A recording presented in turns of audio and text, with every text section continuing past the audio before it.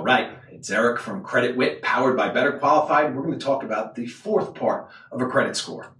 It's only 10%, it's still 10%. What is it? What do you think it is? What's left? What's left in there? Right? You have types of credit. How many types of credit are there? There's two. You have revolving and you have installment. What's the difference? Revolving. Think of it, it's a revolver, it's changing. So if the payment changes based on what the size of the principal is, so your payment goes down as your principal gets smaller, like on a credit card, everyone has a credit card. If you have a credit card and your payment becomes smaller, that's a revolving debt. Okay? An installment debt doesn't change. So if you have a car, right?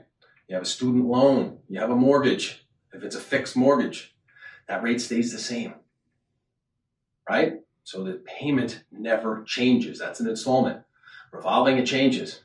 Those are part, big part of your credit score. You want to have a little bit of each. So have some credit cards, two or three.